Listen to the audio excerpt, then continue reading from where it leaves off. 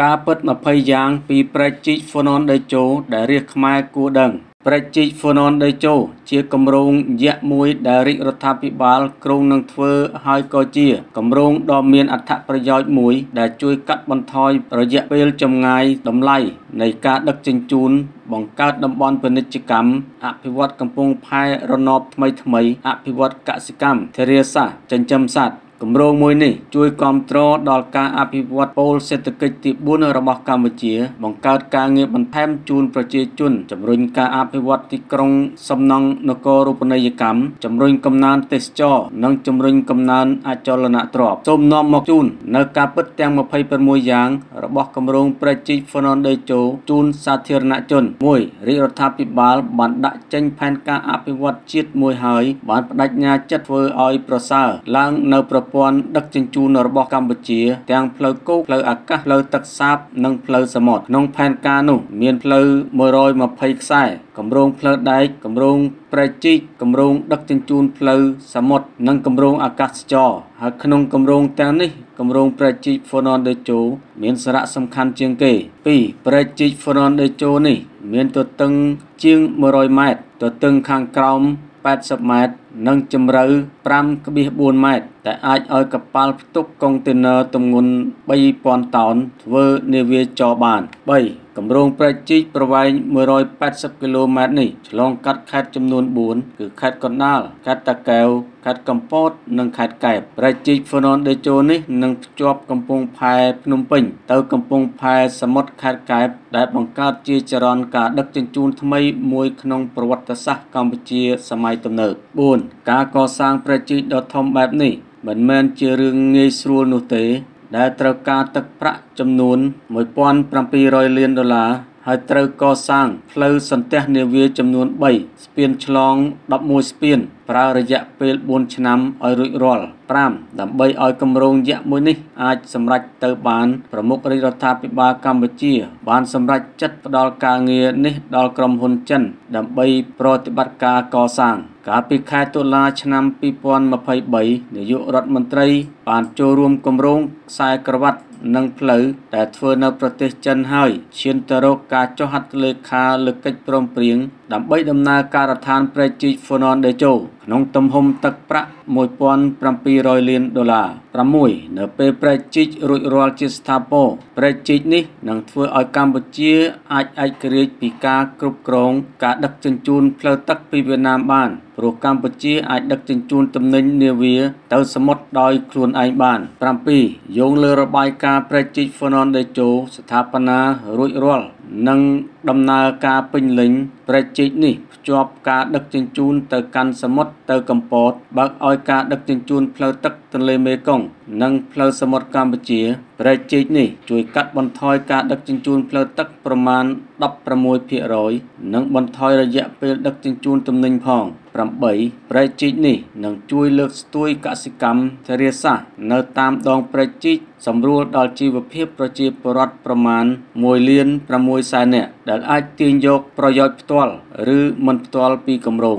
9អ្នកជំនាញផ្នែកអចលនទ្រព្យបានលើកឡើងថាគម្រោងប្រជែក Fernando នេះនឹងជួយលើការអភិវឌ្ឍវិស័យអចលនទ្រព្យនៅតាមតំបន់ទាំងនោះហើយថែមទាំងបង្កើតគម្រោងអចលនទ្រព្យថ្មីថ្មីសម្រាប់ប្រជាជននិងអ្នកវិនិយោគ10អ្នកជំនាញផ្នែកទេសចរវិញ បាននិយាយថាគម្រោងប្រជែកនេះក៏នឹងធ្វើឲ្យវិស័យទេសចរកាន់តែប្រសើរឡើងតាមរយៈការដឹកជញ្ជូនទេសចរទាំងជាតិនិងអន្តរជាតិចូលមកតាមផ្លូវទឹករហូតដល់រាជធានីភ្នំពេញ ដែលជាបេះដូងនៃប្រទេសកម្ពុជា11លទ្ធផលការសិក្សាផលប៉ះពាល់និងទស្សនវិជ្ជាច្បាប់ឃើញថាมันបានធ្វើឲ្យល្មើសលើកិច្ចព្រមព្រៀងមេកុងឆ្នាំ1995នោះទេយោងតាមមាត្រា5នៃកិច្ចព្រមព្រៀងបានចែងពីការប្រើប្រាស់ទឹកដោយសមហេតុផលដោយកម្ពុជាមានកាតព្វកិច្ចធ្វើការជូនដំណឹងទៅគណៈកម្មការរួមឲ្យបានជ្រាបជាមុនពេលអនុវត្តការងារសាងសង់និងមិនជាប់កាតព្វកិច្ចធ្វើការពិគ្រោះយោបល់ជាមុន ឬត្រូវមានកិច្ចព្រមព្រៀងជាក់លាក់ពីប្រទេសសមាជិកគណៈកម្មការទន្លេមេគង្គនោះទេ12គម្រោងប្រជាហ្វូណនដេជោជាគម្រោងមួយដែលបង្វែរទឹកចេញពីព្រែកតាហ៊ីងដែលជាដៃទន្លេបាសាក់ហើយទន្លេបាសាក់ជាដៃមួយរបស់ទន្លេមេគង្គមិនមែនបង្វែរចេញពីទន្លេមេគង្គដែលជាទន្លេមេនោះទេដូច្នេះ កម្ពុជាមិនចាំបាច់ស្នើទៅកាន់គណៈកម្មការទន្លេមេគង្គអន្តរជាតិដើម្បីសុំអនុវត្តគម្រោងនេះឡើយ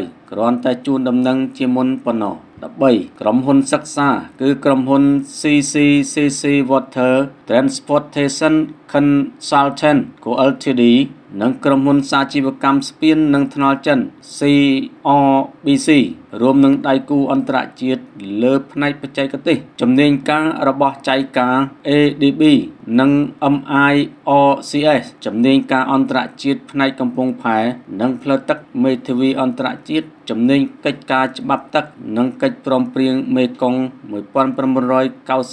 14គម្រោងប្រជីកហ្វូណនដេជោមិនស្ថិតនៅក្នុងគម្រោងខ្សែក្រវ៉ាត់និងផ្លូវរបស់ចិននោះទេទោះបីជាគម្រោងនេះទទួលការសាងសង់ក្រោមរូបភាពវិនិយោគបែប BOT ក្នុងគោលបំណងដោះស្រាយបញ្ហាដឹកជញ្ជូនតាមផ្លូវទឹក15ទោះបីជាគម្រោងប្រជិកនេះទើបតែបានសិក្សាត្រៀមបើកការដ្ឋានសាងសង់ក្តី ក៏មិនមែនមានន័យថាគម្រោងព្រែកជីកនេះថ្មីដែរដោយសារវាស្ថិតនៅលើដានព្រែកជីកចាស់របស់ខ្មែរតាំងពីសម័យមុនអង្គរមកម្លេះគឺសម័យហ្វូណនក្នុងប្រវត្តិសាស្ត្ររបស់កម្ពុជា មានព្រែកជីកចំនួន3គឺព្រែកជីកអូកែវព្រែកជីកវេនតេ និងព្រែកជីកហ្វូណនតែឆ្លងកាត់សង្គ្រាមក្នុងប្រវត្តិសាស្ត្រព្រែកជីកចំនួន2គឺអូកែវ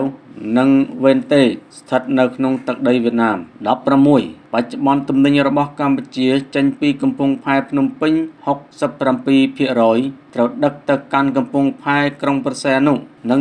33%ត្រូវដឹកតាមប្រទេសវៀតណាម តាមការរំពឹងទុកនៅពេលប្រជិកនេះបញ្ចប់ការសាងសង់និងប្រើប្រាស់ជាផ្លូវការការដឹកជញ្ជូនតាមផ្លូវទឹកទៅកំពង់ផែក្រុងប្រសែនុនឹងកើនឡើង90%រីឯទៅតាមវៀតណាមនៅសល់ត្រឹមតែ10%ប៉ុណ្ណោះសម្រាប់តែទំនិញណាដែលចាំបាច់ទៅតាមផ្លូវនេះ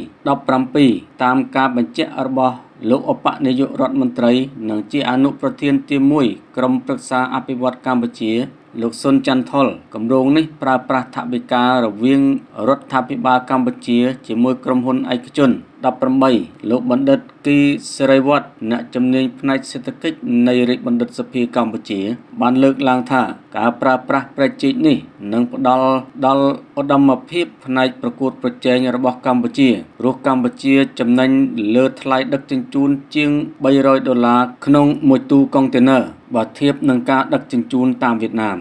19គម្រោងប្រជែកនេះទទួលបានការអបអរសាទរពីប្រជាពលរដ្ឋកម្ពុជា ក្នុងមួយរយៈពេលចុងក្រោយនេះ លើបណ្ដាញសង្គម Facebook មានការបដូរ profile បង្ហាញពីការគ្រប់គ្រងលើគម្រោងនេះ20បច្ចុប្បន្នកម្ពុជាមានទន្លេឆ្លងកាត់ប្រវែង